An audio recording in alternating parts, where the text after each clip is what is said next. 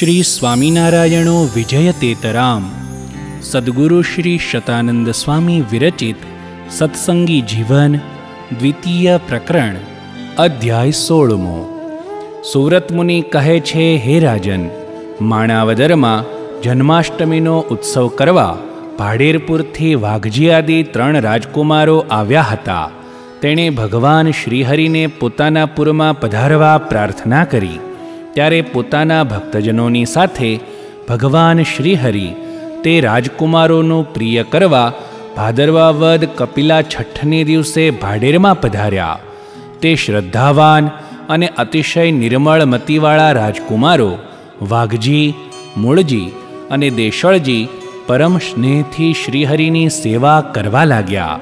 દેવરામ આદિ વિપ્રભક્તો અને બીજા અનેક વૈશ્ય ભક્તો અને શુદ્ર ભક્તો તેમજ સર્વે સ્ત્રી ભક્તો પોતાની શક્તિ પ્રમાણે ભક્તિભાવપૂર્વક શ્રીહરિની સેવા કરવા લાગ્યા. વર્ણિરાટ ભગવાન શ્રીહરિએ ભાડેરપુરમાં ભાદરવાવદી અમાવાસ્યાને દિવસે પિતા ધર્મદેવના શ્રાદ્ધ નિમિત્તે હજારો બ્રાહ્મણોને ઈચ્છિત ભોજન કરાવી તૃપ્ત કર્યા અને તે જ દિવસે બપોર પછી સુંદર સભાનું આયોજન કર્યું. તે સભાના મધ્યભાગમાં દિવ્ય સિંહાસન ઉપર સંતોના સ્વામી ભગવાન શ્રીહરિ શોભવા લાગ્યા. શ્રીહરિ તરુણ અવસ્થામાં મનોહર પુષ્ટ શરીરથી શોભતા હતા. નહીં અતિ ઊંચા કે નહીં અતિ નીચા એવા સમ શરીરવાળા હતા. તેમના નેત્રો લાલ કમળની પાંખડી સમાન એક સરખા હતા. જાનો પર્યંત લાંબી બે ભુજાઓ શોભી રહી હતી. તેમના શરીરનો વર્ણ મેઘની સમાન શ્યામ સુંદર હતો. તેમનું મુખારવિંદ મંદ મંદ હાસ્યથી શોભી રહ્યું હતું. માનસલ બે ખભા સુંદર લાગતા હતા. તેમનો ત્રણ રેખાવાળો કંઠ શંખની સમાન શોભતો હતો. તલના પુષ્પની સમાન તેમની નાસિકા સુંદર જણાતી હતી. તેમનું હૃદયકમળ વિશાળ હતું. ત્રણ વળ પડવાથી ઉદર અત્યંત સુંદર લાગતું હતું. સૌમ્ય આકૃતિ અને ઊંડી ગોળ ગંભીર નાભી અત્યંત મનોહર જણાતી હતી. બંને ચરણકમળની ફણાઓ ઉપડતી હોવાથી શોભી રહી હતી. વિશાળ ભાલમાં ચાંદલાએ સહિત ઉર્ધ્વપુંડ્ર તિલક ધારણ કર્યું હતું. કંઠમાં તુલસીની બેવડી કંઠી શોભી રહી હતી. સુંદર શ્વેત વસ્ત્રો ધારણ કર્યા હતા અને વર્ણિવેશમાં અત્યંત મનોહર લાગતા હતા. ભક્તજનોએ ચંદન, પુષ્પોની માળાઓ, તોરા તથા બાજુબંધ ધારણ કરાવી શ્રીહરિની આદરપૂર્વક પૂજા કરી હતી. શ્રીહરિએ જમણા હસ્તમાં તુલસીના કાષ્ઠમાંથી બનાવેલી જપમાળા ધારણ કરી હતી. હે રાજન, આ પ્રમાણે સકલ ઐશ્વર્ય સંપન્ન ભગવાન શ્રીહરિ પોતાના મુખકમળ ઉપર નેત્રકમળની વૃત્તિને ધારણ કરી દર્શન કરી રહેલા પોતાના સમસ્ત ભક્તજનો ઉપર કરુણામય દ્રષ્ટિથી ચારે તરફ જોતા આનંદ ઉપજાવી રહ્યા હતા. તે સમયે સભામાં શ્રીહરિની આગળ ત્યાગી સંતો બેઠા હતા અને તેની ચારે તરફ સર્વે પુરુષ ભક્તજનો બેઠા હતા અને સ્ત્રી ભક્તજનો પણ પોતાની મર્યાદા પ્રમાણે સભાના એક ભાગમાં બેઠા હતા. સર્વે સંતો ભક્તો શ્રીહરિના વચનામૃત સાંભળવાની ઈચ્છાથી મૌન બેઠા હતા. તે સમયે ભગવાન શ્રીહરિ મધુર વાણીથી કહેવા લાગ્યા, ભગવાન શ્રી નારાયણ મુનિ કહે છે, હે ભક્તજનો, તમે સર્વે ગૃહસ્થો તથા સાધુ બ્રહ્મચારી સર્વે ત્યાગીઓ મારો એકાગ્રચિત્તથી વચન સાંભળો. સર્વકાળે અને સર્વ પ્રકારે તમારા સર્વેનું સદાય શ્રેય કરનારું વચન હું તમને કહું છું, અહિંસા છે એ જ પરમ ધર્મ છે, એમ વેદની આજ્ઞા છે. એથી મારા આશ્રિતોએ સર્વ પ્રકારે હિંસાનો ત્યાગ કરવો. પોતાનું હિત ઈચ્છતા મારા ભક્તજનોએ મન, વચન અને કર્મથી ક્યારેય કોઈ પણ જીવ પ્રાણી માત્રનો દ્રોહ ન કરવો. હે ભક્તજનો, મારા આશ્રિતોએ યજ્ઞમાં પણ કોઈ દેવી દેવીઓને ઉદ્દેશીને કોઈ જીવની હિંસા ન કરવી, તથા સૌત્રામણી યાગમાં પણ સુરાનું પાન ન કરવું.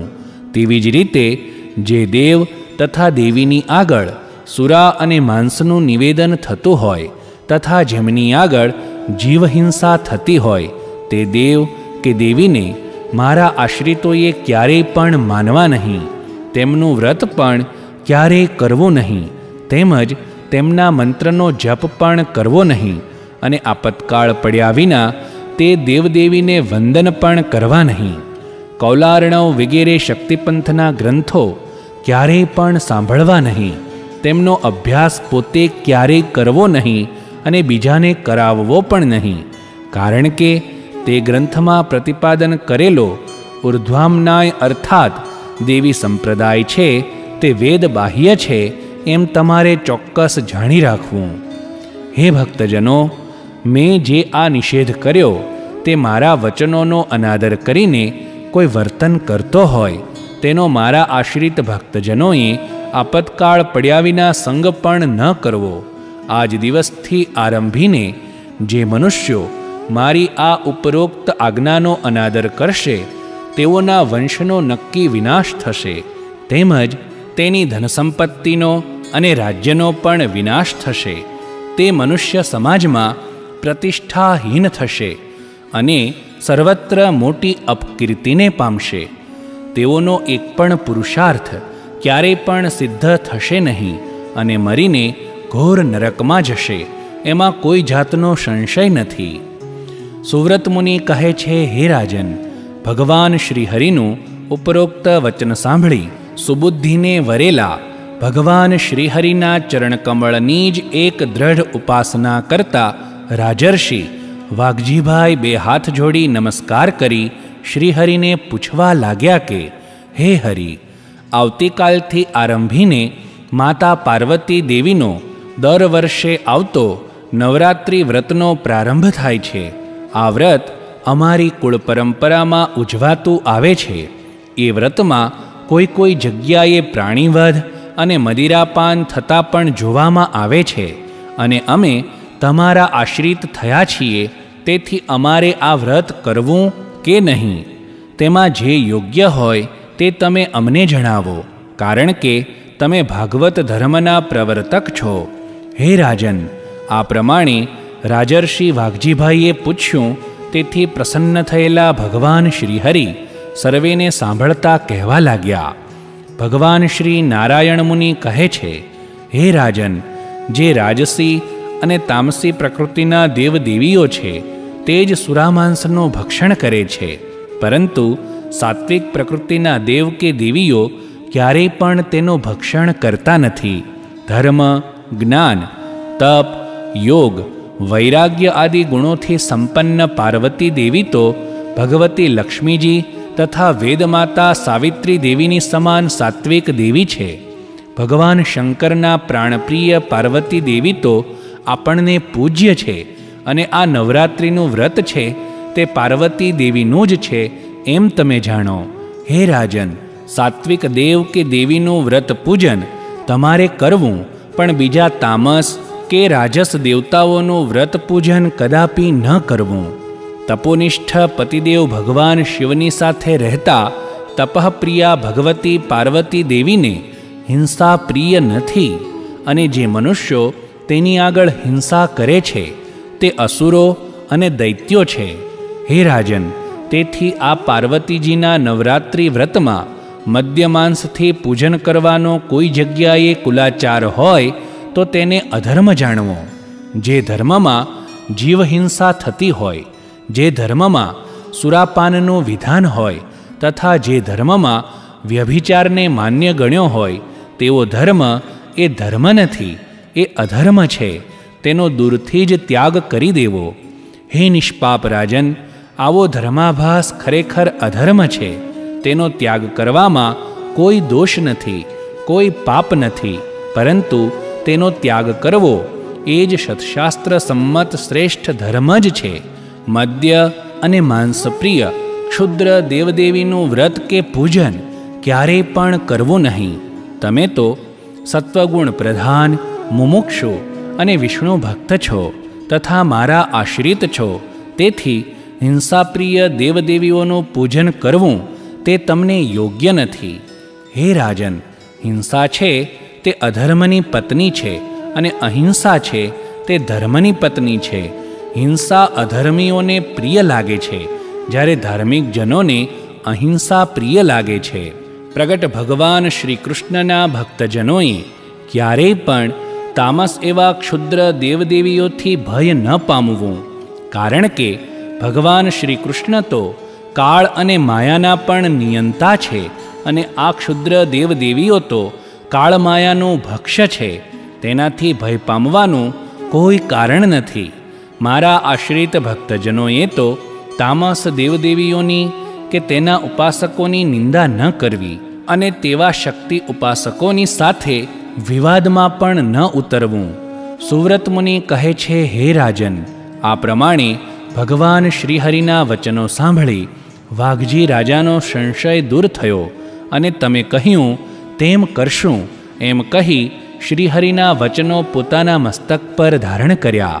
તે સમયે સભામાં બેઠેલા શ્રીહરિના ભક્ત બ્રાહ્મણો શ્રીહરિને પ્રણામ કરીને કહેવા લાગ્યા કે, હે પ્રભુ નવરાત્રિના વ્રત સંબંધી અમારે તમને કાંઈક પ્રશ્ન પૂછવો છે, તો અમારા વચન સાંભળો. અમે સર્વે તમારા જ એક ચરણના ઉપાસી વૈષ્ણવ ભક્તો છીએ. તેથી તામસી કે રાજસી દેવદેવીનું વ્રત અમે બહુધા કરતા નથી.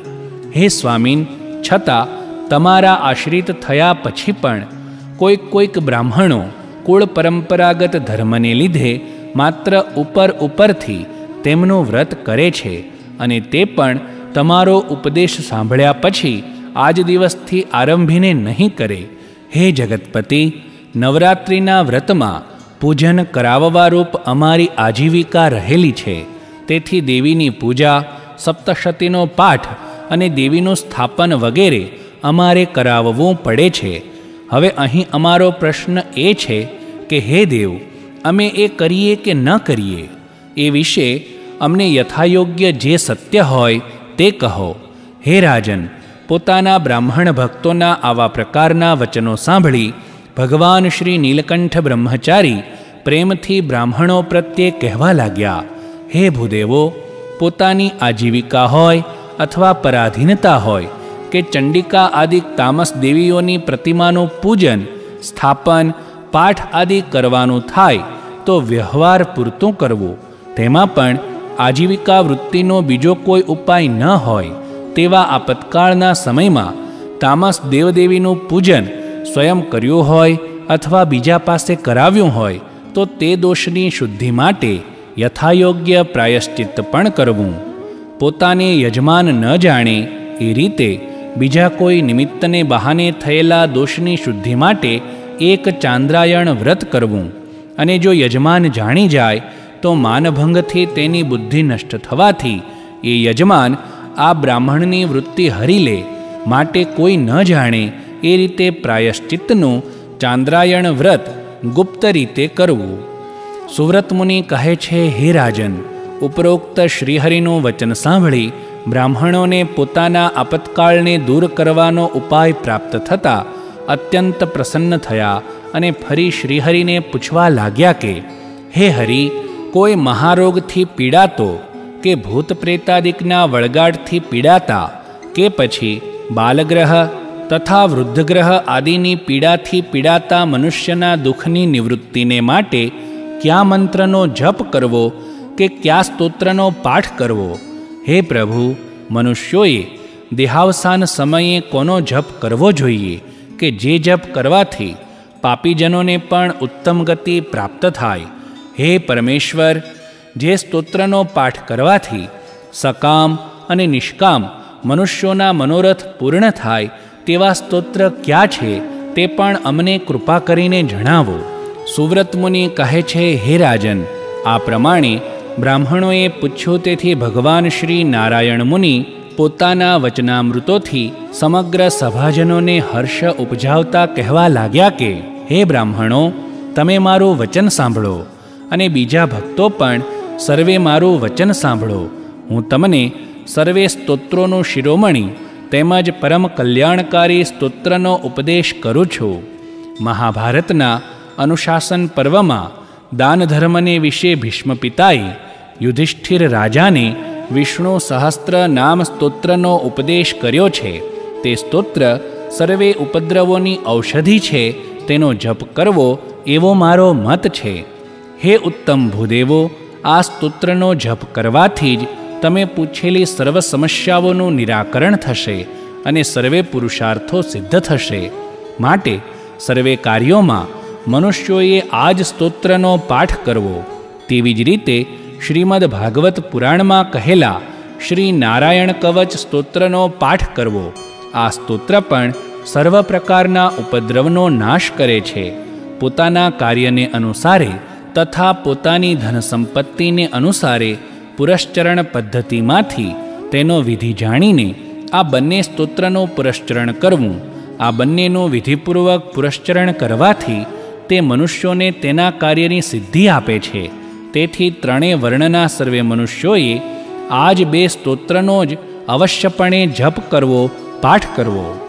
હે ભૂદેવો, આ લોકમાં મારા આશ્રિત મનુષ્યે કોઈ પણ કાર્યની સિદ્ધિ માટે તત્કાળ ફળ આપનારા શુદ્ર દેવ કે દેવીના મંત્ર કે સ્તોત્રનો જપ ક્યારેય પણ ન કરવો. તેમાં પણ મદ્યમાંસપ્રિય રાજસ કે તામસ દેવદેવીઓના મંત્ર કે સ્તોત્રનો જપ તો ક્યારેય પણ ન કરવો. કારણ કે તેનો જપ કરવાથી મુમુક્ષુ ભક્તના મોક્ષના અંકુર જ વિનાશ પામે છે. જે પુરુષો એવા મંત્ર સ્તોત્રનો જપ કરે છે. તે દેહને અંતે અનેક પ્રકારના નરકની પીડા ભોગવી પછી પિશાચ થાય છે અને જો સ્ત્રી હોય તો તે ડાકીની થાય છે. માટે હે ઉત્તમ ભૂદેવો, સકામી કે નિષ્કામી, બંને પ્રકારના જનોએ સર્વ કાર્યમાં સર્વદા મેં કહ્યા, તે બે સ્તોત્રનો જ પાઠ કરવો.